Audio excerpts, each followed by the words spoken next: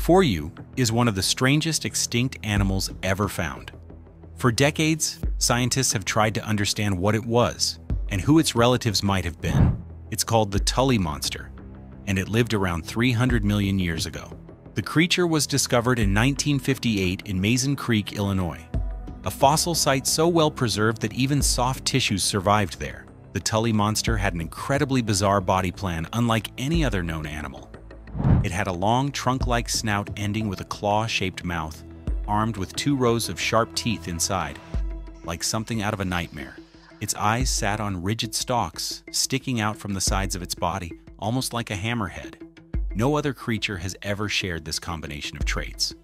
For a long time, scientists believed it was an invertebrate. But in 2016, researchers studied more than 100 fossils and found signs typical of vertebrates. They concluded that the Tully monster might be related to modern lampreys, primitive, jawless fish.